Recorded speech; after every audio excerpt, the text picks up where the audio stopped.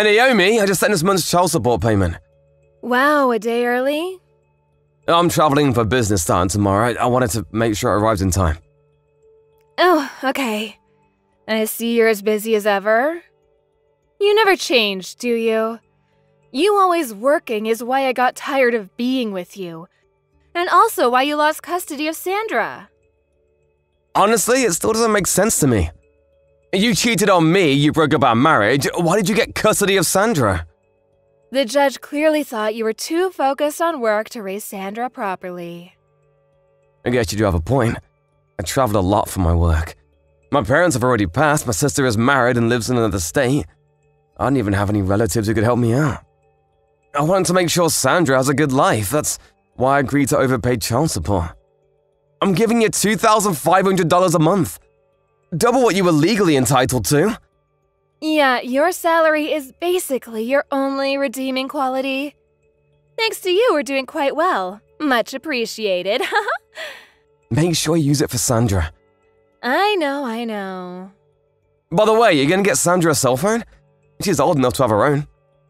Why do you ask? She's a sophomore in high school. All the girls her age have phones. It's the only way they can keep in contact with one another. I figured Sandra might be missing out on a social life without me. She's not really interested in having a phone. Really? It could be good to have one if she ever got into trouble. I thought it would be for the best if she had one. Is that all you want? I have to go to work now. Can this conversation be over? I'll think about the phone.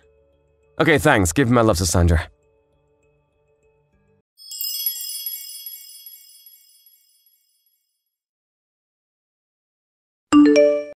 Dad. Sorry to message you so late.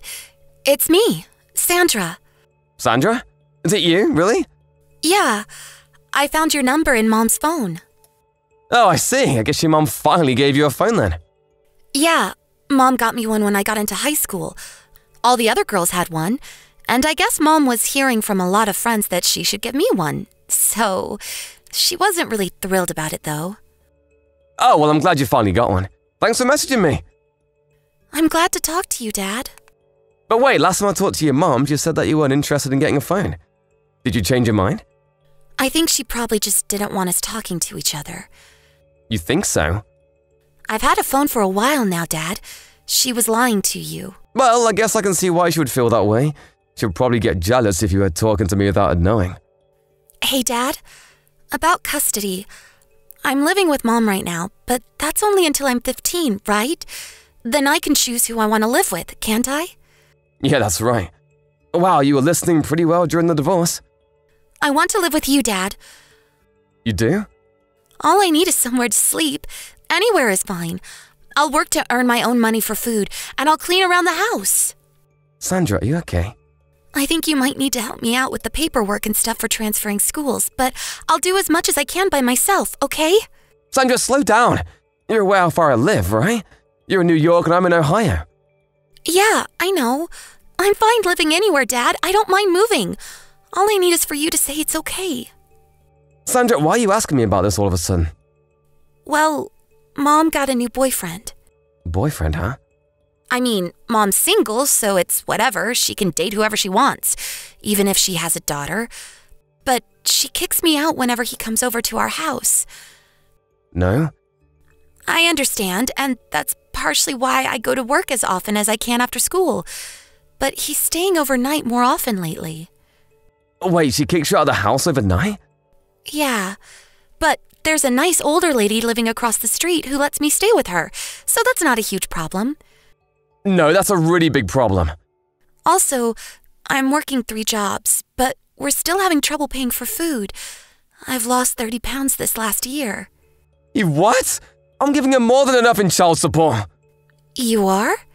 She said that you haven't paid any child support since I started high school. What? She said your company went bankrupt, so you couldn't pay anymore. That's not true at all. My company is doing great. I've been paying her $2,500 a month, same as before. You're paying that much? I don't believe it. She's been lying to you about child support. What is she doing with that money? Like I said, Dad, I don't want to live here anymore. Mom's not here right now, so I thought this might be my only chance to talk to you about this. I understand everything, Sandra. Let's meet up and talk in person. I have the day off tomorrow. I'll take the first flight there in the morning. Can you meet me at the airport without Mom noticing? Yeah, I think I can. Okay, wait for me at the arrival gate. Gotcha.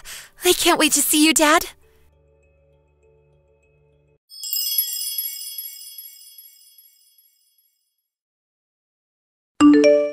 Hey, Dad. Thanks for yesterday. No problem, Sandra. Where are you staying tonight? My teacher's house. She said she talked to you about our situation and said I could stay here whenever I want. So here I am. LOL. Glad to hear it. Well, lucky you got a place with such a trustworthy teacher. Tell her I said thanks again. Will do.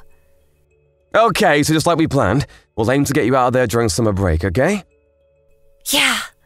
Thank you so much for helping me, Dad. I know you're really busy with work. Don't worry about it, it's not a problem at all. You're my daughter, and family always comes first. You can rely on me for anything. Thanks, Dad. I love you.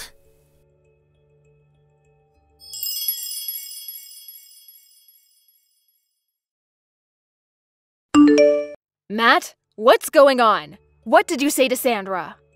What's your problem? She says she doesn't want to live with me, that she wants to move in with you. It sounds like you've been talking to each other an awful lot, Matt. How dare you? I am her mother. I have custody of her. When she's 15, she can choose for herself, Naomi. What? Don't you remember? The judge said we should consider transferring custody to me once Sandra's 15. Wait. You're always traveling for business, though. You can't take care of her. You might be financially capable, but you'll be gone all the time. What will you do while she's home alone? About that, my company is creating a new headquarters here in Ohio. So I can keep doing my same job without having to travel as much. I'll be able to look after her just fine. And my sister and her husband are moving back into town, so when I'm gone, she can stay with them. There won't be any problem with her living with me. No way. Not to mention, you're in no position to be objecting to her choice. What's that supposed to mean? I've been sending you $2,500 a month in child support, Naomi. What have you been doing with that money? Uh, well, you know, the usual stuff. Her tuition, transportation, tutor, supplies. She's going to a good private school. You know that costs money, don't you? Naomi. You know we've been talking to each other, Naomi. I know everything. How long are you going to keep lying to me? Uh, oh, um. You said she was going to an expensive private school. So you can imagine my shock when Sandra told me what was actually going on. She's going to a public school. She rides a bike to school, so she doesn't even need any transport. She doesn't have a tutor, and on top of that, you lied to her and said I wasn't paying child support.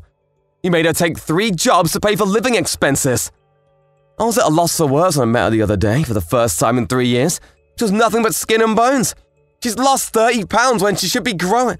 She's lost 30 pounds when she should be growing. Do you have any idea what you've been putting her through? Oh, come on, she's just on a diet. Girls her age are sensitive about their weight. I'm not finished. What's this I hear about you kicking her out of the house at night so you can be alone with your boyfriend? What the hell is wrong with you, Naomi? Oh my god, she told you about that? Yeah, she did, but that's not all. I hired a private detective. You what? I know you've been spending my child support payments on your boyfriend, Naomi. Oh no. I also understand that he's there with you right now. So I bet Sandra's been kicked out of the house as usual.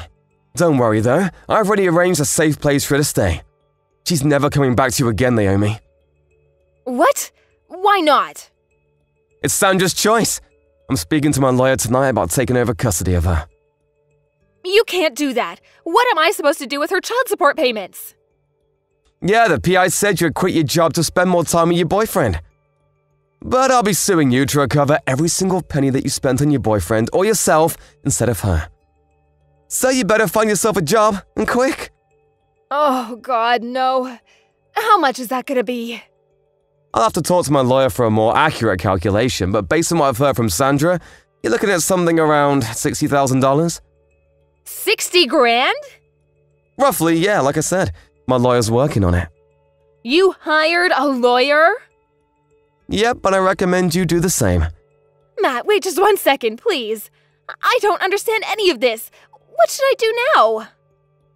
Ask your lawyer. Goodbye, Naomi.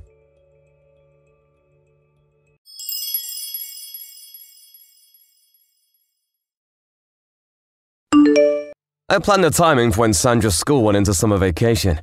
This way, there wouldn't be any risk of Naomi coming to get her while she was at school. My former in laws apparently talked some sense into her, so the custody transfer went smoothly. You should have seen the look on my face when the judge pounded his gavel. We found a great school for her in the area and got her admitted just in time for the start of the new school year. Naomi, well, her parents cut her off. She went into debt to pay off the money she owed me.